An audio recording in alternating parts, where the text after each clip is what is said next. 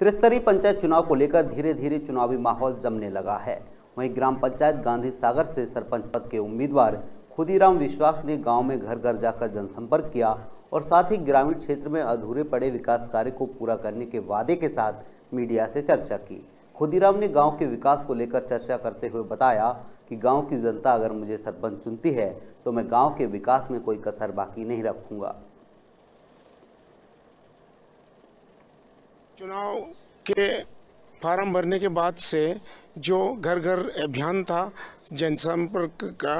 उसमें लोगों ने मुझे बहुत समर्थन दिया है। मेरे कार्य से लोग बहुत प्रभावित है और मैं जो बोलता हूँ वो करता हूँ उसी उन्होंने जो काम करा गांधी सागर हित के लिए आज तक कोई सरपंच नहीं करा और अभी हम चाह रहे हैं कि खुदीराम जी विश्वास को सरपंच पद होती उनको बिठाएँगे और उन्होंने जो काम करा कोरोना काल से मोदी जी जैसा काम करता होगी जी जैसा काम करता।